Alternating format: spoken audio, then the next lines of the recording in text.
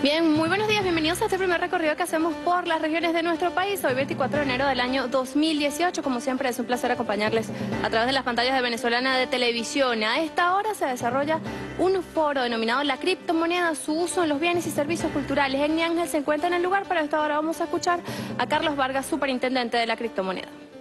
Al mundo la posibilidad de tener un patrón diferente al patrón dólar, un patrón diferente a lo que ha representado para buena parte del mundo la esclavitud.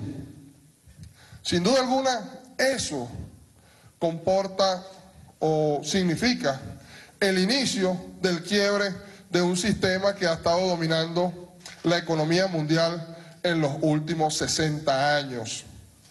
Porque, para ponerlo en contexto, todos esos grandes acuerdos nacen después de la Segunda Guerra Mundial con algo que se llamó el Tratado de Bretton Woods.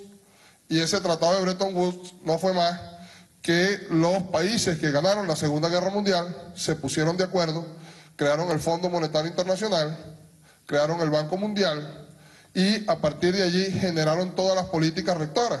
Estados Unidos como el principal financista y principal fuerza pues impuso el dólar como patrón moneda del mundo y a partir de allí tuvieron la patente de corso de imprimir dinero indiscriminadamente, como dice el comandante Fidel Castro, y a partir de allí, con ese dinero que imprimieron indiscriminadamente, ya que no necesitaban ningún tipo de respaldo, pues se hicieron de las riquezas más grandes del mundo y del control del sistema financiero. Eso es lo que ha pasado en los últimos 60 años y por eso nace esta comunidad. Esta comunidad muy poderosa, esta comunidad liberadora, esta comunidad que maneja una tecnología que se llama la tecnología del blockchain.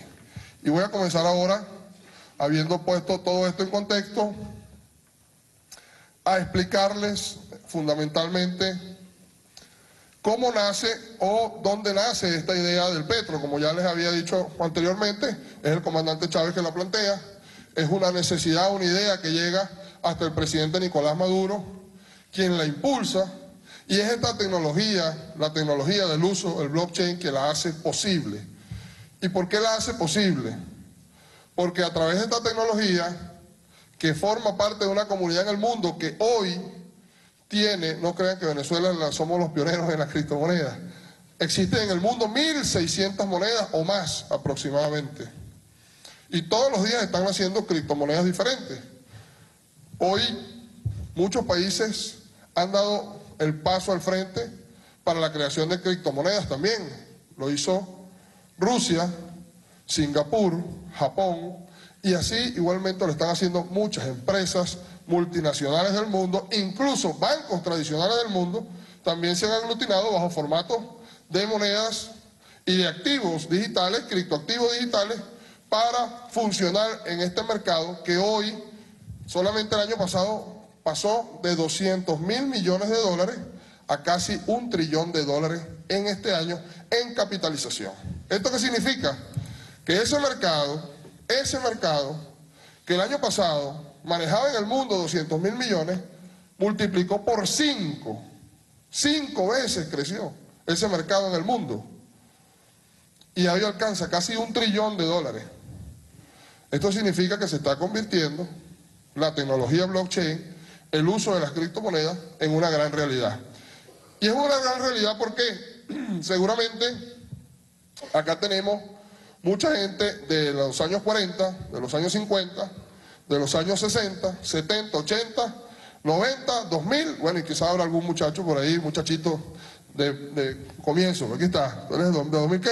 2010, 2012, 2004, bueno, aquí está uno del 2004, pues.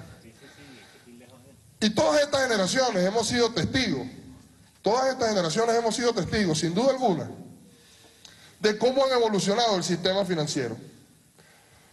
Y a lo mejor en los años 40 y 50 había un formato para ir al banco. Los que son aquí del 40 y del 50, seguro iban a su banco, llevaban su plata, había un formato distinto para los depósitos, había mucho menos sistema de seguridad, no era computarizado el banco, era con puro recibo, Luego vinieron los 60, los 70, los 80, aparecieron los ordenadores.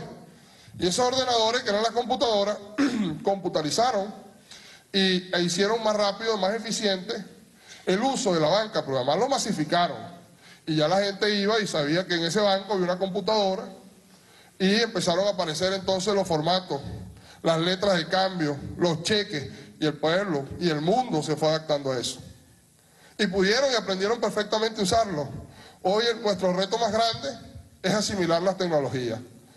Bueno, ¿y quiénes se recuerdan aquí cuando hicimos el tránsito entonces a las tarjetas de débito? Y a la gente le da miedo usar la tarjeta de débito, pero más miedo le da usar un cajero automático. Lo que pasa es que a lo mejor aquí hay muchos que no lo reconocen, pero de verdad fue así. Les daba miedo usar una tarjeta de crédito, les daba, porque era con la troqueladora aquella, y luego, bueno, fueron de chip y cosas, ¿no? Y tarjeta magnética. Y luego aparecieron los cajeros automáticos, pero ustedes saben qué fue lo más novedoso de estos últimos tiempos, las transferencias.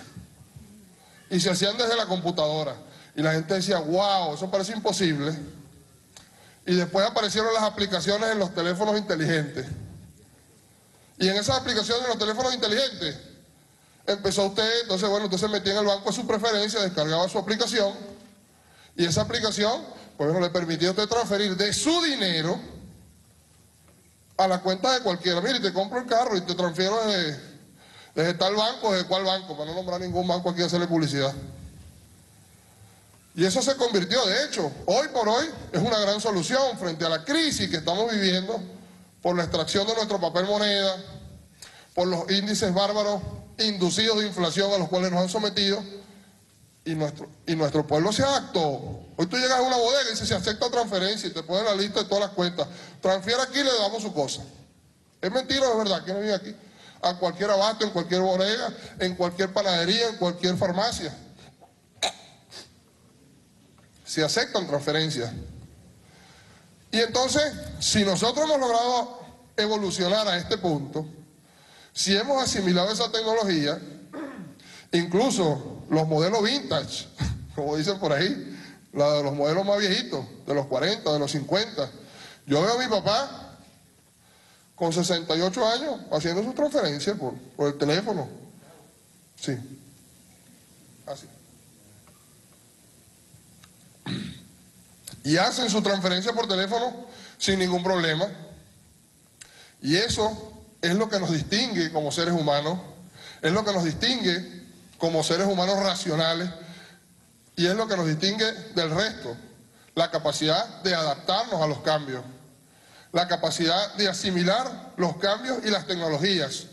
Bueno, pues bien, y nace la tecnología disruptiva, se le llama, la tecnología blockchain y aparecen las criptomonedas. Y entonces yo les digo, ¿cuántas personas que están aquí en este auditorio han utilizado? 10 y 38 minutos de la mañana y ustedes veían precisamente en este foro la participación del superintendente de criptomonedas, Carlos Vargas, hablando